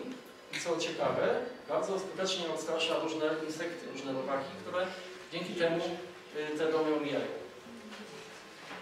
Dlatego też, dlatego też właśnie Hindusi mieszkają w takich y, budynkach, w takich, y, w takich chatach, bo tam nie mają, nie ma łopaty. W tych domach z betonu, z cementu, z cegły, tam niestety są takie kawaluchy i podobnie wielkości puski, więc no, ja w pełni nie rozumiem Hindusów. Tak? Gdzieś są przyzwyczajeni do tego zapachu, czy w ogóle nie? Ten zapach on jest odczuwalny przez pierwsze parę dni, a później jak już ten placek, ta y, wysycha, jest zwietrzeje, twardy. mało tego, to jest tak twarde jak, nie, jak chcemy, bo to się miesza z piaskiem. Nie wiem jak to działa na tej zasadzie, ale sam po takiej podłodze chodziłem, nawet ją spłukałem i byłem pod wrażeniem, że to jest tak twarde, więc nie ma tam cementu, a w połączeniu właśnie z moczem i z piaskiem, to tak wiąże, że jest tak twarde, że na nie potem się chodzi jak, jak po cemencie. Tak? Tego śpieszy. No, Ale oni tam ciągle dokładają tego, tej nowej papki, czy tak już jeden raz to... Aż tak to nie wnikałem, ale z tego co widziałem, to y, te podłogi są bardzo takie widać leciwe, schodzone i dobrze się trzymają, także przypuszczam, że to jest na kilka lat. Ile pokojów jest taki standardowy hinduski dom? Y, To jest zróżnicowane, to w zależności od y, statutu, od bogactwa Na rodziny. tak. Y, No tutaj masz akurat nie, wiesz, trudno mówić o pokojach w tym przypadku, bo to jest y, jedno jakieś tam pomieszczenie i tyle. I tam śpią, mieszkają. Y, Bardzo byłem w szoku, mocno byłem zdziwiony, jak zobaczyłem, jak mieszkają na przykład handlowcy. Najczęściej to jest tak, że jest stoisko, jest stragan i na zapleczu mają dosłownie materac, albo nawet nie, nie ma materaca, tylko jest po prostu kopka, zawieraczek, jakaś tam kubka ułożona z ciuchów, na której śpią. A no on po prostu to, ten swój stragan, swoje stoisko, tylko naciągają taką płachtą wielką foliową yy, i śpią tam, mieszkają. Także oni wiele do szczęścia nie potrzebują. Oni nie potrzebują, nie potrzebują apartamentu, bo oni wszystko co potrzebują to podłogę, żeby się mieć gdzie położyć. To jest dla nich wszystko, no, więcej nie trzeba. Woda, woda jest dostępna zawsze pod ręką, jakaś tam studnia jest. Yy, Łazienki też są yy, w najbliższych krzakach, więc też wiele, wiele więcej nie trzeba. Y, Taka ciekawostka jeszcze tutaj w tych domach y, dla właśnie przyjezdnych dla nas, tam są łazienki takie jakie my tu mamy na Poznańszu, czy w ogóle w tych naszych, w naszym standardzie zachodnim. Łazienki takie są, tylko że Hindusi nie wzięli pod uwagę, że jak tam biali przyjeżdżają, to zaczynają używać papieru toaletowego i go wrzucają do toalety. No i się zaraz okazało po jednym niecałym dniu naszego tam bycia, że przyszedł nasz gospodarz i zaczął nas prosić, żebyśmy nie używali tego papieru, bo jemu się zatyka kanalizacja. Więc co z tego, że są łazienki w stylu zachodnim, jak całe te systemy odchodzenia ścieków są do tego nie przystosowane. Więc my byśmy po prostu musieli szybko przejść na ich system i po każdej, e, dzięki temu po każdej wizycie w aplikacji trzeba było brać po prostu prysznic, bo nie można było używać papieru toaletowego. Co było z korzyścią dla higieny oczywiście. Y, Czy, y, czy oni ma, na przykład kuchnie mają jakieś, czy, y, czy wychodzą, owoce jedzą? Y, Świetne pytanie. Y, Tam jest tak gorąco, że nie chce się jeść gotowanego jedzenia. Najchętniej się je właśnie warzywa, owoce nieprzetworzone. Mięso to w ogóle jest y, no, zbędne, bo mięso jest zbyt energetyczne, zbyt gorąco jest po mięsie. Y, je- Chce się jeść lekkie rzeczy. A kuchnia, nie wiem czy tutaj mam to zdjęcie, ale gdzieś, tam gdzieś takie zdjęcie będzie. Może będzie, może nie będzie, już nie wiem, czy jest tutaj tu, y, gdzie jest y, właśnie chałupa jak łata, taka chatka, nie? I obok chatki jest na zewnątrz palenisko, dla bezpieczeństwa. Gdyby w takiej chacie palili ogień, to ta chata by mogła łatwo spłonąć. I najczęściej jest tak, że jeśli grzeją właśnie wodę, czy coś gotują, to jest palenisko na zewnątrz i tam yy, gotują. I to jest palenisko takie, jak my znamy od, od cyganów, powiedzmy, że jest kociołek nad ogniem i w nim się gotuje. Jest dom kilku rodzin, czy jednej rodziny? Tutaj mieszka, w takim czymś mieszka cała rodzina i to taka wielopokoleniowa. Babcia, wnuki i dalej. Czasami po 10 osób w takim czymś może mieszkać. Z tym, że tutaj mieszkanie polega nie na tym, że tak my to sobie wyobrażamy, że tam stoi wieża hi-fi, laptop, y, y, prawda, i, i y, jakieś tam super y, y, To służy głównie do spania. Oni, y, oni się nie, nie, nie przywiązują do rzeczy, do, do, do całego tego dobrobytu, bo oni wiedzą, że to co najważniejsze zawsze mają w sercu, a to co na zewnątrz, tak te mandale, wszystko jest przemijane, więc po co przykładać wagę, po co inwestować w rzeczy przemijane, po co kupować jakieś sprzęty do domu, jak i tak się je wyrzuci, po co y, robić z siebie niewolnika i y, pracować na jakieś lodówki czy inne wygody, y, czy łóżka, po to, żeby one się złożyły, żeby je wywalić. Na to czasu. Oni są szczęśliwi, oni się nie śpieszą, oni nie muszą nie gonić za pieniądzem, bo jak widzicie do szczęścia tak niewiele potrzeby. Czy tam są drzwi? Nie ma potrzeby. Y, I to się wiąże z tą ich mentalnością, to, co najważniejsze jest tam w sercu i że nikt nikogo Tak, nie y, wchodzi. y, jak, jak, jak mówiłem, ta, ta, ta, ta historia z psami, tam też nie ma policji za bardzo. Owszem, formalnie jest policja i formalnie owszem jest posterunek policji, ale praktycznie tej policji tam nie widać. Ponieważ oni wierząc właśnie w bóstwa, wierzą, że bóstwa cały czas ich obserwują, wierzą, że cały czas y, nad nimi sprawują kontrolę. Każda rodzina ma właśnie swoją jakąś y, y, rodzinkę świętą, która gdzieś tam pilnuje. To jest taki policjant w cudzysłowie, który zawsze ma ich na oku i oni nie mają potrzeby iść do sąsiada i mu coś kraść, ponieważ wiedzą, że policja może ich nie złapie, ale bóstwo widzi wszystko i po co mają się narażać bóstwu, a wiedzą, że jak coś ukradną, pamiętacie sobie o pieskach, to wiedzą, że bardzo ryzykują, że się narodzą w przyszłym wcieleniu psem.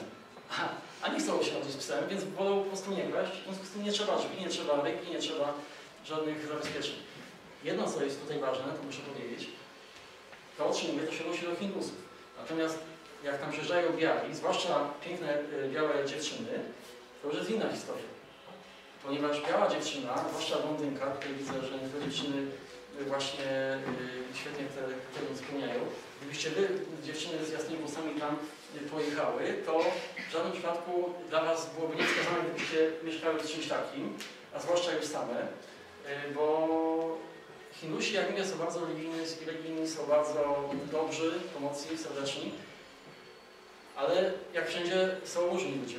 I tam też są różni ludzie. I na przykład u nas była taka sytuacja w domu, w naszym apartamencie. Myśmy mieli drzwi wejściowe, normalnie na tu zamykane jak tutaj, i jeszcze była na krata ponadto.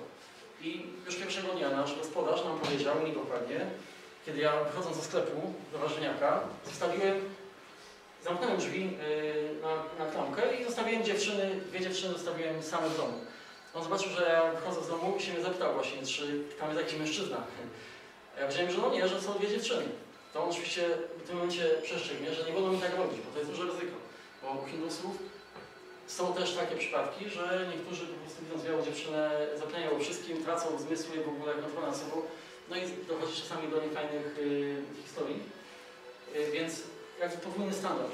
Powtarzam, inny standard dla Hindusów, a inny dla białych. I białe dziewczyny, myśmy później tak się zdarzało, że jak wychodziłem z domu, a dziewczyny zostawały same, to musiałem tą kratę zamykać na kłódkę, dosłownie. Dziewczyny miały swój kluczyk od środka, więc jakby chciały, to mogło zawsze wyjść. E, Ale dla bezpieczeństwa po prostu trzeba było dziewczyny zamykać. W żadnym wypadku nie można było dziewczyny samej wypuścić, zwłaszcza wieczorem y, na miasto czy na ulicę, bo było więcej niż pewne, że y, zostanie albo przynajmniej poklepana po pośladku, albo wręcz będzie zaczepiana w taki sposób mało dla niej sympatyczny przez mniej kulturalnych, lokalnych chłopaków. W Indiach jest jeszcze jakieś inne wyznanie? Tak, w Indiach jest w sumie hinduizm, sam hinduizm, sam hinduizm dzieli się na całą masę y, różnych jeszcze podgrup, y, ale jeśli pytasz o inne wyznanie, to jest y, bardzo dużo wyznawców islamu, są katolicy, którzy właśnie mieszkają na Goa, wtedy mieszka najwięcej katolików właśnie na Goa, aż, aż, aż niecałe pół procenta w skali populacji Indii, ale dominuje hinduizm. Dzień takiego y, hin, Hindusa, jak mniej więcej wygląda? Czy oni chodzą do, y, do pracy tak jak my, wra- wracają, jedzą coś obiad? Czy standard jest inny też tam u nich? No właśnie, jak wygląda dzień takiego Hindusa? To jest znowu bardzo mocno zróżnicowane. Hindus, który jest religijny i który przestrzega tradycji, yy, wstaje rano, naj, najlepiej właśnie przez słońca, oddaje e, szacunek, oddaje uwielbienie bóstwom, modli się, medytuje przed ołtarzykiem, yy, po, czym, po czym później yy, przystępuje do codziennego życia, do, do, codziennych zajęć. Jedni mają gospodarstwo, niego yy, funkcjonują, inni mają sklepiki, jeszcze inni y, są jakimiś zbieraczami, chodzą do dżungli, na przykład zbierają rośliny, owoce itd. itd. Y, I na wieczór też y, obowiązkowo powinna być medytacja, powinno być właśnie y, takie parę chwil, czasami godzina, czasami półtora odosobnienia takiego posiedzenia w ciszy przy ołtarzyku, za chwilę też takie ołtarzyki będę Wam pokazywał, gdzie, gdzie właśnie się y, spotyka z, z, z tym, co w nas, właśnie z bóstwem w środku. Tak? Ja się chciałam zapytać, czy jest tam jakiś Bóg, który jest inny w Indiach niż szczurze? Czym jest? Y, Jest taki Bóg, który jeździ na szczurze, bo coś takiego Na szczurze. Yy, tak, jest, no jak mówię, tam jest ponad 3 3000 tych różnych bóstw. Yy, właśnie jest tam Ganesha, yy, który przypomina słonia. Jest też yy, Hanuman, o którym mówił później, to jest małpa z kolei, to jest Bóg, bóstwo z ciałem częściowo człowieka, częściowo małpy. I też jest bóstwo yy, yy, o szczurzej po, podobiznie. I też wokół tego jest mit, jest historia. Tam jest dla każdego coś. Jeśli pytasz o szczury, nie wiem, czy też dlatego, że masz może myszka albo szczurka i y, widzisz nim bóstwo, czy... O, że tam jest szczurza świątynia. Tak, jest, jest taka świątynia i w tej świątyni y, celem, każdy, kto do tej świątyni idzie, powinien tam poszukać białego szczura, bo tam żyją różne szczury, y, o różnej y, maści, o różnym kolorze, ale jeśli tam pojedziesz i spotkasz białego szczura, to znaczy, że bóstwo Ci sprzyja i że y, no, dostałaś właśnie wielki dar, że spotkałaś białego szczura. To jest, to jest y, dla wielu białych znak, że bóstwo ich zauważyło. Myślę jeszcze, jak ten y, złodziej się odrodzi w tym ciele psa, to jeśli ten pies umrze, to drugi raz się odrodzi, czy raczej... No to zależy, zależy jak ten pies żył, no bo wiecie, dla Hindusów istnieje takie coś jak nieśmiertelna świadomość. I ta świadomość, ona przybiera różne postaci. Ona czasami jest w postaci ludzkiej, czasami zwierzęcej. Y, jeśli jest psem, no macie na pewno zwierzątka w domu, wiele, wiele z Was ma y, pieski. Wiecie, że pies jest bardzo sprytnym, bardzo inteligentnym, bardzo kochanym stworzeniem. I wiecie, że też ma swoje nastroje, wiecie, że też ma swoją psychikę. Przez tego psa też przemawia świadomość. U Hindusów y, świadomość zwierzęcia czy świadomość człowieka to nie jest wielka różnica. Tylko różnica jest właśnie w opakowaniu. To jest samochodem. Jeden- jeździ maluchem, drugi jeździ Mercedesem. Y, I to jest samochód, i to jest samochód. I tutaj jest kierowca, i tu jest kierowca. Świadomość, dusza jest ta sama w ich mniemaniu dla człowieka i dla zwierzęcia. Więc ten, y, ta świadomość, czy jest w postaci psa, czy człowieka, ciągle ma możliwość coś przepracowania. Ciągle ma możliwość kierowania swoim życiem w taki lub inny sposób. Jeśli kieruje tym swoim życiem dobrze, w sensie nie krzywdzi, pomaga, y, te pieski są ukochane pod tym, pod tym względem. One są y, tak słodkie i tak, tak, tak potulne, y, że jestem pewny, że jeśli one były złodziejami, to one na pewno już tymi złodziejami nie będą. One są tak kochane, a może widzieliście, one się tak tulą, one tak fajnie y, y, bawią, chcą się bawić, no, no, no są, są wesołe. Y, I, i, I na pewno, na pewno te, które ja spotkałem, już się na pewno złodziejami nie odrodzą. Oni już przeszli swoją lekcję i teraz już będą tylko, tylko dobrymi. Tutaj jest, słuchajcie, świątynia. Świątynia właśnie jedna z wielu na wzgórzu, y, właśnie dedykowana y, Wisznu. Najczęstsza y, właśnie to jest najczęstszy, motyw, y, y, tutaj macie właśnie ten, wielkie drzewo, ten wielki y, banian. Y, tutaj jeszcze on jest taki duży, później większy. Każda świątynia, każda świątynia ma takie dzwonki. Czasami jest ich więcej, czasami mniej. Tam jest bóstwo. Bóstwo, bóstwo świętość jest, y, to jest taki, nazwijmy to ołtarzy, mówiąc po, naszej katolickiej tutaj myśli. Tam jest właśnie zwane bóstwo, to jest taka strefa sakrum i tam y, wchodzi się, tutaj dzwoni się, uderza, uderza się w ten dzwoneczek. To jest taki sygnał nadchodzę, składa się ręce, idzie się właśnie do bóstwa. Tam się medytuje chwilkę, kłania się bóstwu y, i, y, no i, i następnie, następnie. Tutaj zobaczcie, jest właśnie, pytaliście się o świętą krowę. To jest, macie odpowiedź, tak? To jest jeden z takich ołtarzyków. Takie ołtarzyki buduje się przed domami, yy, na podwórkach, ale także przed świątyniami. Tu macie właśnie symbol świętej krowy.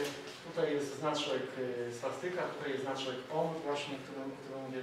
Ta swastyka i to znaczy, źle przepraszam, swastyka się nie mówi. Mówi się tak? Co się mówi? Symbol szczęścia. Dokładnie. Y, Ten właśnie y, indyjski symbol szczęścia, y, a tutaj jest y, symbol OM. No właśnie przykład, jak się z moimi tymi zmączkami, tutaj nasza ekipa, tutaj inna świątynia i znowu prawo.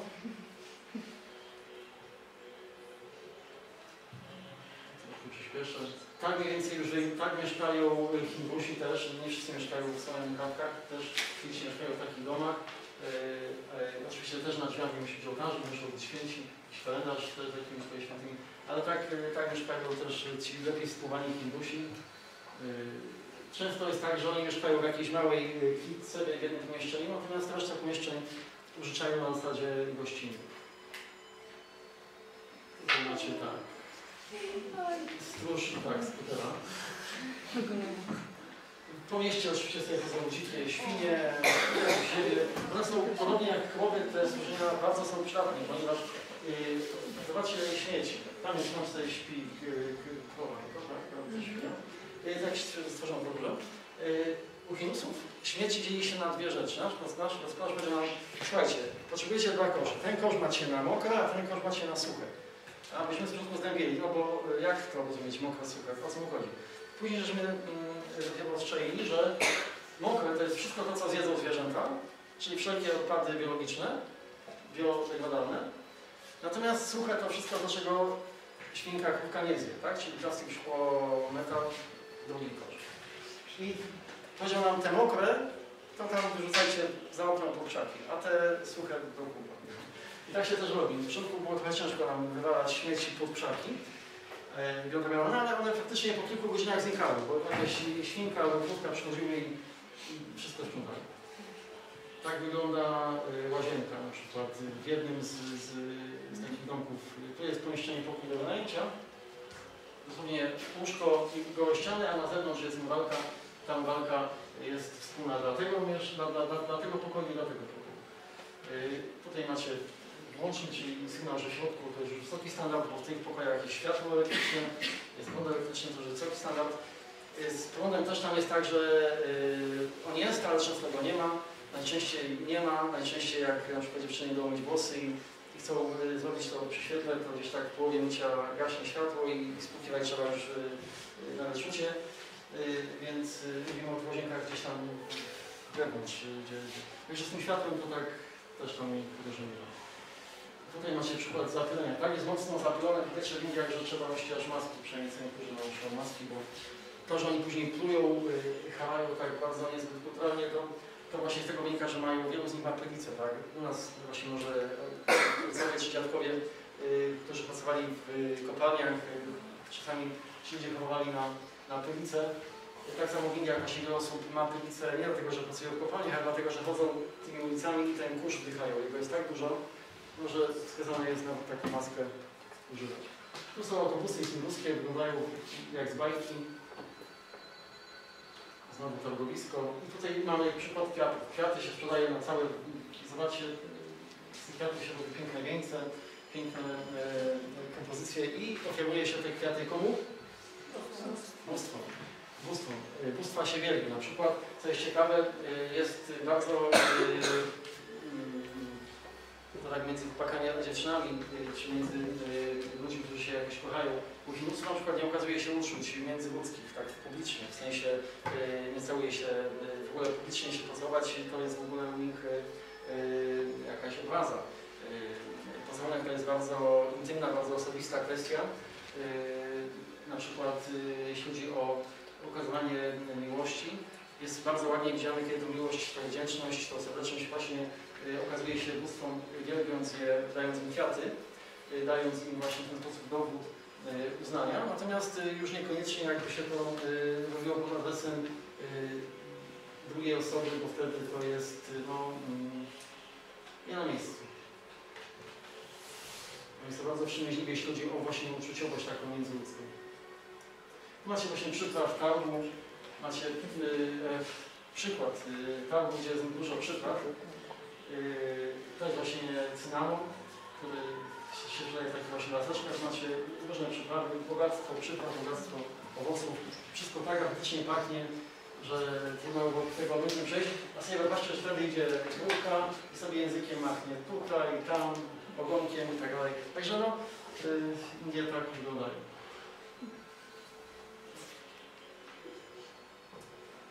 Ktoś lubi ostre jedzenie, to takie stosy właśnie przypraw.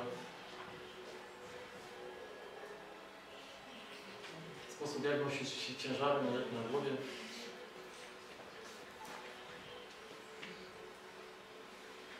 Tutaj jeszcze raz cipu. Tak wygląda targ właśnie hinduski. A tutaj jest przykład chłopaka, który pracuje na kuchni i yy, zapytaliśmy go, gdzie możemy umyć, to jest taka mała, mała, yy, taki mały fast food nazwijmy to, takie ich lokalne jedzenie. Yy, ktoś wie może czy są samosy, to właśnie on te samosy robi sprzedaje yy, parkurę i sprzedaje takie, yy, takie właśnie yy, lekkie jedzonko. Zapytaliśmy go, czy możemy ręce umyć. Pokazał nam w kącie właśnie tą umywalkę. Yy, yy, Wodę się bierze z tego dzbanka, yy, świeżość tej wody jest bardzo dyskusyjna i tym się myje ręce. Yy, Także no, w ogóle dziwnie nas patrzyli, jakbyśmy chcieli myć ręce przed jedzeniem. Oni tak, takiej potrzeby nie widzą.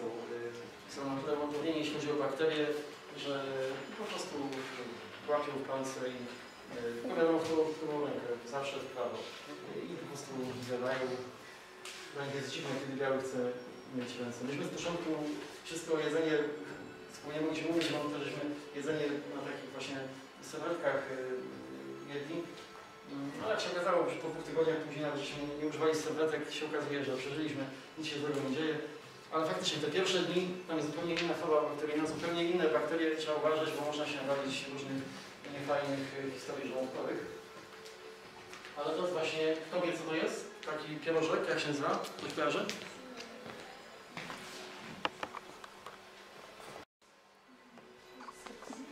Mówiłem, to jest samos. Samos to jest, to wszystko jest wegetariańskie jedzenie.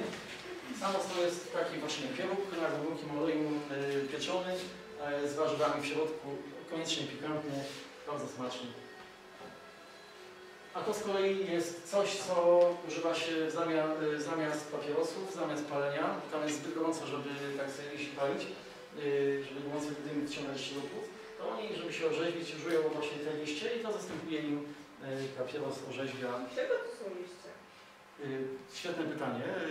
Y, Jakiejś roślinki, która ma taki jakiś tam składnik, który y, stymuluje y, coś w głowie, co powoduje, że oni są bardziej pobudzeni i mimo tych upałów nie usypiają, po prostu mają więcej siły. A to jeszcze raz, co to jest? Między innymi, tak. A tak bywają autobusy. Autobusy od środka są jak dzisiaj bardzo nowoczesne, y, wentylacja naturalna. y, Trzeba uważać, że przez te dźwięki wypaść. Autobusy są krojone na taśmę klejącą do zima i podłodze rozkładające się aż cud, że one jeżdżą. Y, W autobusach panuje bardzo fajny system w Indiach. Y, Jak wejdzie do autobusu, y, a zwłaszcza dla pań, bardzo wygodny system. W autobusie po lewej stronie jest rząd z napisem Ladies Only i tam siadają Only Ladies. W praktyce też to bywa, bo widziałem czasami panów tam siedzących, no ale to nie, będę- nie będę komentował.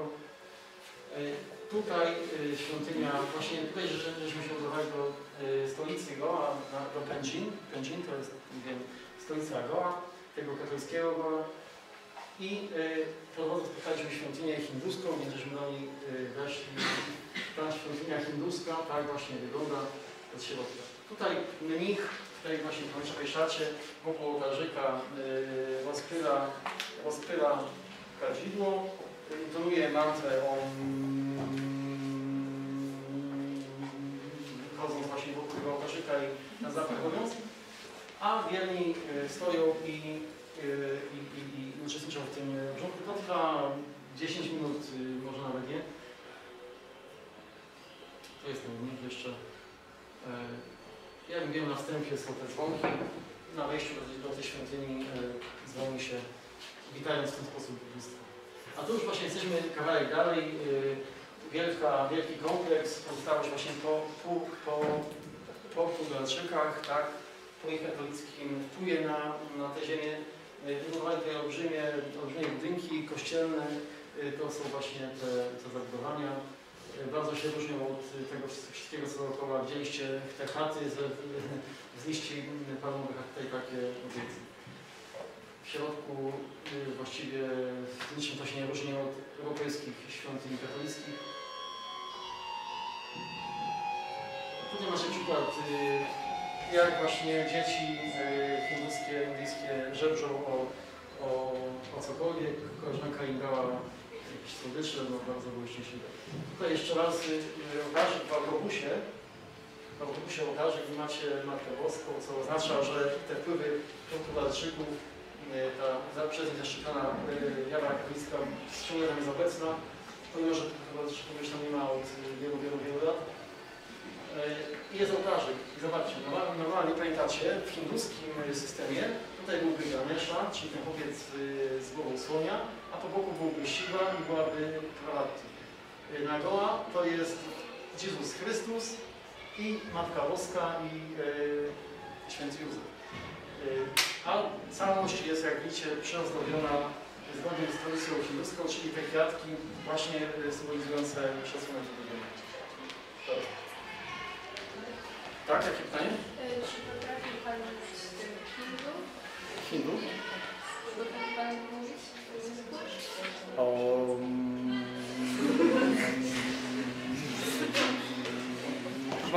Tak. Nie, oczywiście miesiąc, miesiąc pobytu to jest dużo, ale nie aż tak dużo, żeby się nauczyć hindu. E, Zwłaszcza, że on do nas mówił po angielsku, więc y, nie mamy za bardzo możliwości uczyć się hindu. Tutaj y, dowiaduję się, że już jest szans powoli na... Tu macie jeszcze raz sekundkę. Powoli się tak czas nam kończy, więc jeszcze na samo zakończenie.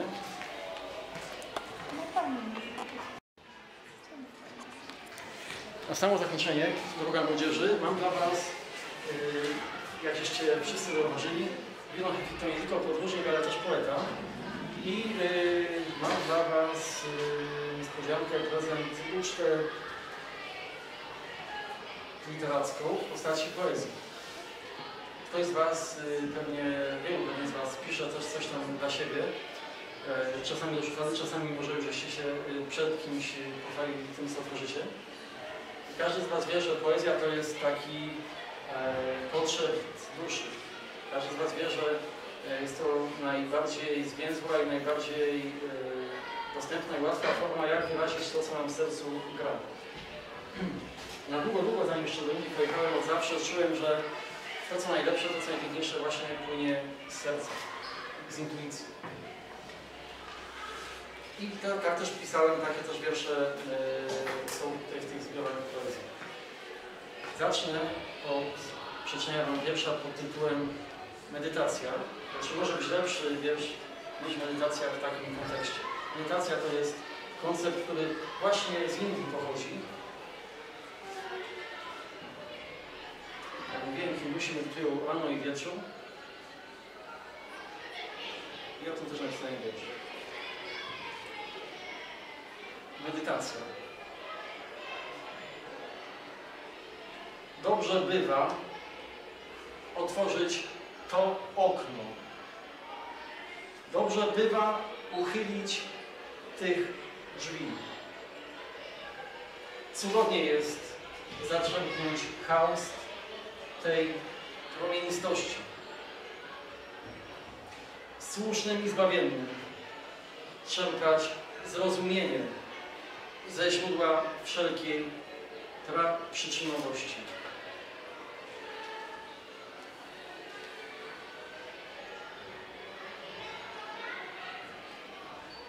Na serca dnie, w meandrach duszy, z głębi oczu, byt, istota rzeczy. Nadświadomie, w mnogości postaci, o ludzkim obliczu, boskość przejawiona.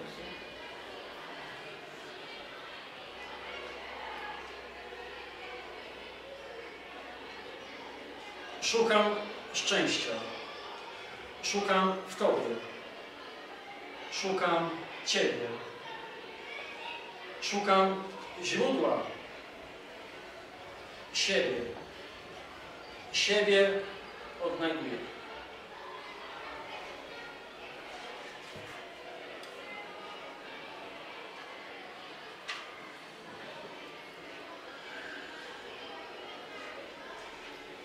Większość z tego, co robimy, o co zabiegamy, do czego zmierzamy,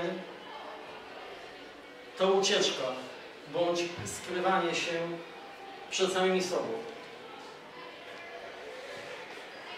W imię szczęścia teraźniejszego lub przyszłego. Obłęd ten trwa tak długo,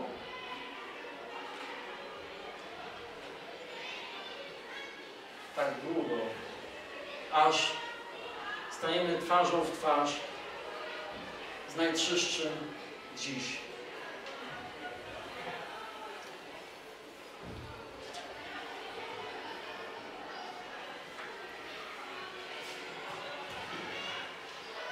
Poznając mnie, odnajdujesz siebie.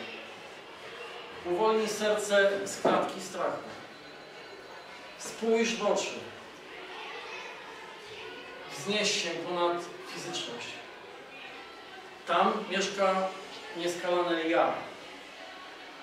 Tam zrozumienie i odpowiedź.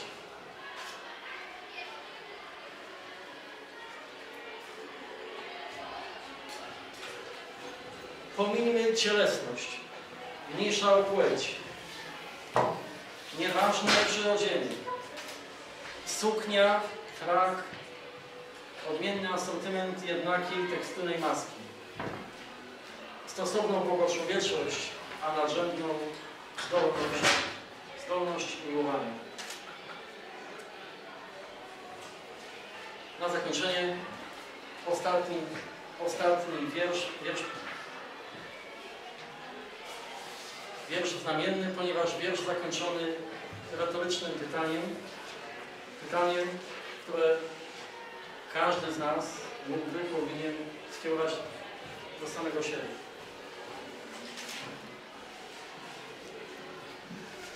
W kalejdoskopie gęb i twarzy, jaźni mej odbicie. A Ty, Przeglądasz się w lustrze masowej iluzji, w zwierciadle własnego serca? Co mówi ta gra pozorów? Co ukazuje miraż światło cienia? Które odbicie prawdziwe? Która z podobizn Twoją? Czy którakolwiek?